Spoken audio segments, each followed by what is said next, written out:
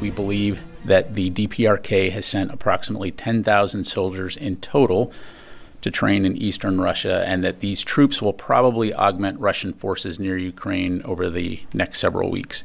Uh, a portion of those soldiers have already moved closer to Ukraine towards Russia's Kursk Oblast near the border with Ukraine, uh, approximately a couple thousand, uh, with a smaller number already present in the Kursk region.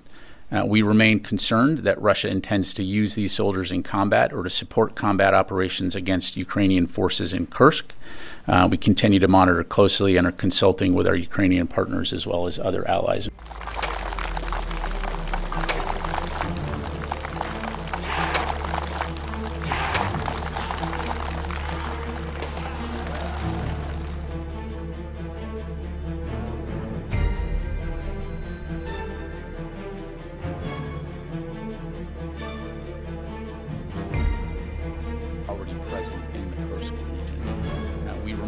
Concerned that Russia intends to use these soldiers in combat or to support combat operations against Ukrainian forces in Kursk.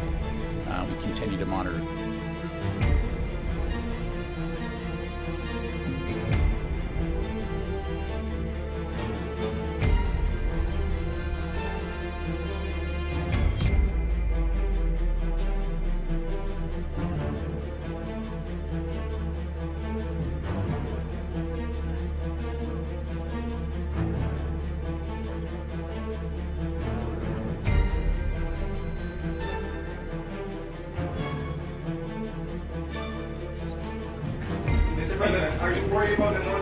North troops in Kursk in Russia?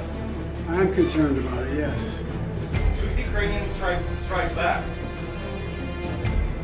They cross into Ukraine, yes. Right. Thank you.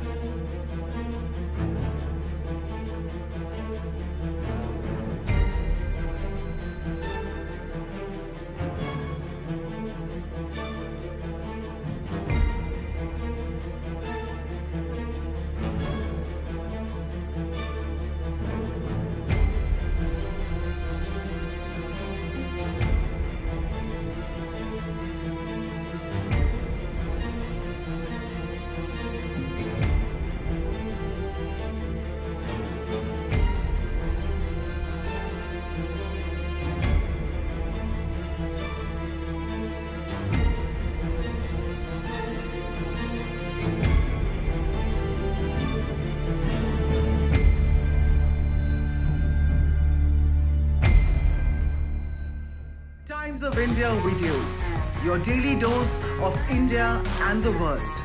Global news, different views, and sharp analysis. Pressure of expectation from your fans, your supporters. that has often served as a backdrop for several Bollywood. You're not a brute majority anymore.